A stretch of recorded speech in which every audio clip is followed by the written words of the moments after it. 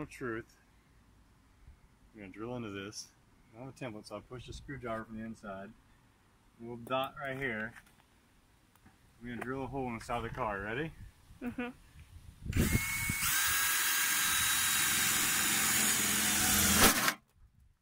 turn back now. This is our home, and this is where we live in Seattle, Washington. That's me, Eric, my wife, Rashree, and these are our kids. We got tired of the usual corporate America, long hours, living for the weekends and living for retirement. We decided to make a change. We moved out the Pacific Northwest. We cut our expenses, we cut our income, and we decided we were going to focus on what matters most life, experiences, spending time with our kids, spending time with our friends and family, making the most of every single day, and truly living life to its fullest. So come join us as we explore this world. It's a lot to see and a lot to do. Let's get going. All right, today we're going to be installing the snorkel on the Delica. A little bit of a daunting task as we have to drill a hole through the side of the fender here but uh, that's how you do it. So it should go right there on the front right on the driver's side for right-hand drive vehicle. Uh, 80 millimeter 80 millimeter hole is going to go somewhere in this neighborhood here. Snorkel is going to mount here and somehow affix up there. Came from Russia with no instructions, so should be exciting. As the first things first, we have removed the air filter housing and we see where it's going to go through the fender and we're going to drill a pilot hole through the middle of that and that'll show us where it comes to on the other side because as I said we have no template is less than ideal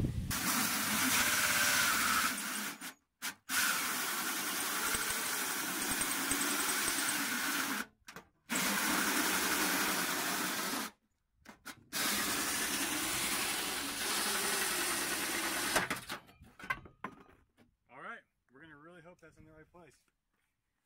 Yep, that stuff hurts when it lands on you. It feels like hot. all over my feet. I know, it burnt my hand. Well, there's a hole in the car. All right, in true world's worst video fashion, I managed to lose the additional videos of the install of the snorkel.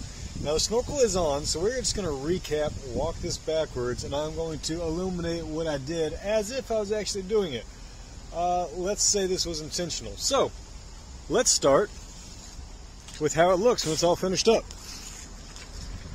Ta-da! There she is. And now you see we've even got bigger wheels on her. She's really looking the part. Came together really well. My holes, my guesstimates on the placements and everything actually was spot on. So let me talk you through the rest of it. So the last video you saw there was about four months ago, and that was drilling a hole in the side of the fender.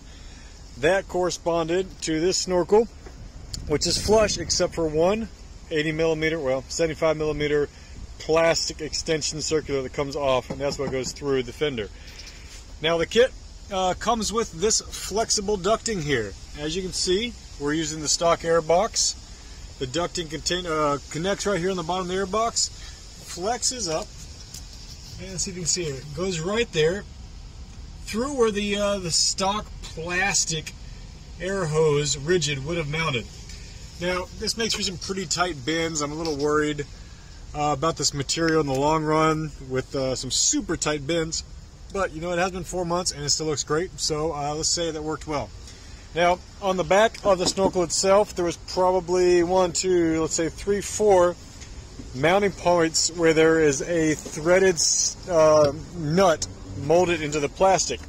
And then with the kit came about four, let's say 40 millimeter uh, threaded rods that thread in, go through the holes in the body, and then have nuts on the inside that also came with the kit. Without the uh, the uh, pattern here, which is supposed to be a piece of paper that you lay out and it corresponds with a couple different places, let you know where all your things are so you can mark them out beforehand, it would have been helpful. Um, without that, I had to get creative on where to drill these holes into the fender, not just the large one, but the small ones for the bolts as well. So what I did is I took the threaded rods, I threaded them into the receivers on the snorkel itself, lined up the hole, lined up the angle of the snorkel where I thought it should be, pressed it on the fender, and gave it a good whack. One, two, three, four, whack, where I thought this would be, to mark the fender where I would drill them. There's a fifth one. This is for the later generation uh, Delica, same L400 model, but they had a facelift, and the headlights are different later wise. Most kits you see come with just this one style. There's actually one additional mounting point right here, which obviously you do not use because it would go through the lights. Doesn't make a bit of difference. So I put those four studs on there, banged it in, pulled it off, drilled my holes, and then went in from the inside with nuts. Can you see them? No. Uh, no, you can't. Trust me, they're there. Uh, it comes with a flat nut with the washer style. I believe is molded on. Either that there was a lock washer, cannot recall. Uh, and you're just finding that. For one of them, you had to come up here from the inside through the fender liner, pull it back, come up to the one or two nuts here. And man, this one up here was a real pain. Oh, that's why you can't see them, because they're all inside this body. Never mind. None of the nuts are in the engine compartment. They are all inside this fender. So all of them have to come through the upper wheel well. And that was quite a reach to get your arm around through here and all the way up to the one that's right this here area get a nice long uh, ratcheting wrench up in there, but it did work. Bolted really tight, got it nice on there. Uh, then the snorkel was sticking out about here. I waited till nice, and uh, the day I was installing it in the videos, it was pretty chilly out. I waited till the next day, there was a lot of sun on it, left it in the sun for about five or six hours. Got that plastic nice and soft, and wow, could you move this around better. That allowed me to more comfortably do this last step of the process here. This bracket comes with a kit, kit along with the, the nuts and the bolts here. Screwed those in to the uh, snorkel itself. Uh, repositioned a couple times I figured which way should go. Became evident this is the direction here. And then I was just able to move this around until I got this bracket in the place where it should kind of relatively go. Uh, I knew I couldn't go up and down obviously, so all I had to do was flex it over until it reached into the uh, window channel, door channel here. Made two little marks there let go, boom, moved out of the way, my two holes, put it back in, riveted it in with the included rivets, uh, threw a little gasket material between the metal part here, uh, just a little silicone, just to give a little buffer so it's just not metal on metal, try to prevent any uh, paint scrapage that's not needed. Uh, and then I've got a uh, washer with a little lock washer on there, tighten it all up. This uh, zip tie here, excuse me, hose clamp here came with it, along with this put those on there. I, have seen some people mount these snorkels backwards. Well, I say I've seen maybe two people. I don't see the theory in that. I guess it's so if you're driving water doesn't come in it. Um, the amount of water that's ever going to come in that is minimal to me to the potential added benefit of having essentially a ram air system here where as you're driving, fresh air is getting forced down into the induction system.